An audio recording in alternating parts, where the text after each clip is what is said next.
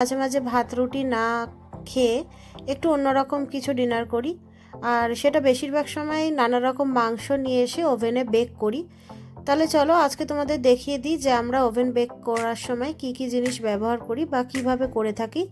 খুবই সহজ পদ্ধতিতে করি কিন্তু খেতে ভীষণ টেস্টি হয়। এখানে দেখো একটা ওভেনের যে ট্রে থাকে সে বেকিং ট্রের উপরে আমি একটা ফয়েল পেপার পেতে নিয়েছি। এখন তার মধ্যে আমি অলিভ অয়েল স্প্রেড করে দিচ্ছি। এখন আমি কিছু রোজমেরির পাতা আমি খুলে খুলে ছড়িয়ে দিচ্ছি। এটা আমি যেহেতু ফ্রেশটা পেয়েছি, আমি সেই জন্য ফ্রেশ লিভসগুলোই দিচ্ছি।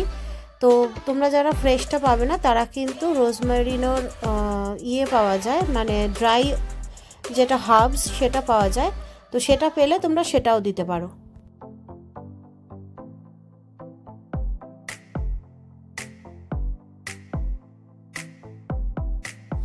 এখন খুব ভালো করে পুরো ট্রেটা জুড়ে আমি নুনটা ছড়িয়ে দিচ্ছি।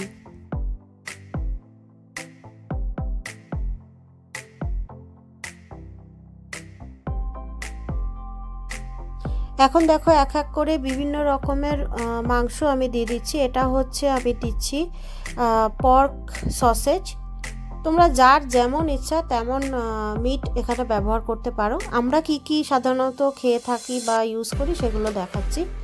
দিয়ে দিলাম পর্ক সসেজ এটা হচ্ছে হোল চিকেন লেগ এটা কিন্তু অবশ্যই উইথ স্কিন দিতে হবে, কারণ যখন বেকিংটা হয়ে যাবে, তারপর উপরে স্কিনটা ক্রিস্পি হয়ে যায়। সেটা খেতে খুব ভালো লাগে।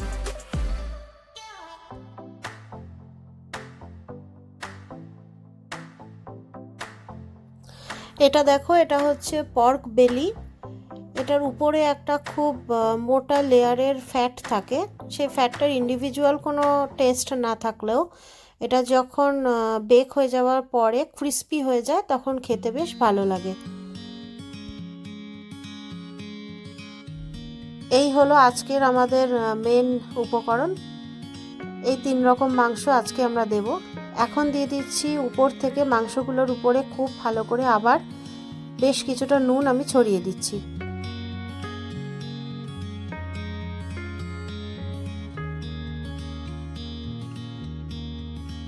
এখন মাংসের উপরে তেল ছড়িয়ে দিচ্ছি। আর এই রেসিপিতে আরেকটা জিনিস খুব ইম্পর্ট্যান্ট সেটা আমার কাছে ছিল না বলে আজকে আমি দিতে পারিনি। সেটা হচ্ছে যে হোয়াইট ওয়াইন এই সিজনিংয়ের মধ্যে হোয়াইট ওয়াইনটা দিলে কিন্তু টেস্টটা আরও অনেক বেশি ভালো হয়। বাদ বাকি রোজমারির পাতাগুলো আমি দিয়ে দিচ্ছি।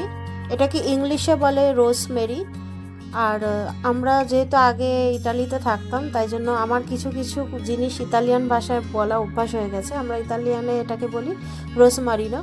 সেজন্য আমি রোজমেরি, রোজমারিনো দুটোই বললাম, দুটো কিন্তু সেম জিনিস।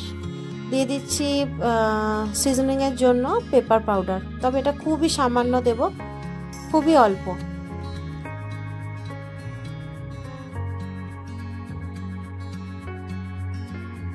আর দেখো মিটগুলোকে প্রিপেয়ার করার ফাঁকে আমি কিন্তু আমার আভেনটাকে প্রিহিট করতে বসিয়ে দিয়েছি। সেটা টেন মিনিটসের জন্য টু হান্ড্রেড ডিগ্রিতে। এখন দেখো, আমার ঘরে তৈরি করা চিলি ফ্লেক্স দিয়ে দিচ্ছি। এটা আর কিছুই নয়।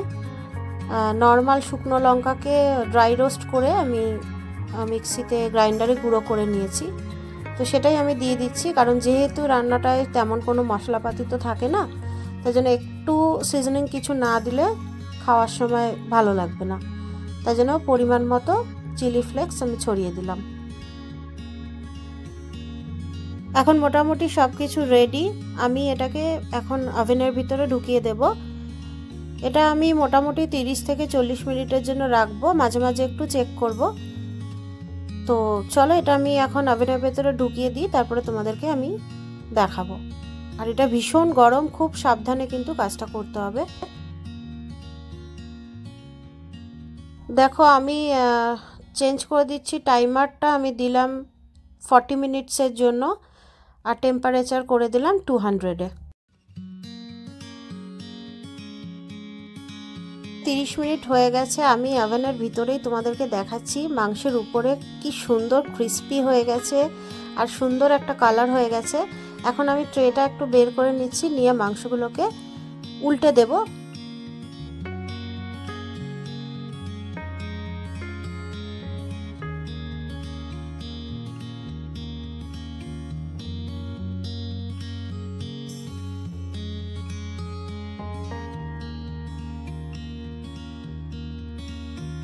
এখন দেখো, এই জায়গাটা খুবই ইম্পর্টেন্ট আমি একটা ছুরি দিয়ে মাংসের গায়ে একটা ছোট ফুটো করলাম আর সেখান থেকে কিন্তু দেখা যাচ্ছে জল বেরিয়ে আসছে।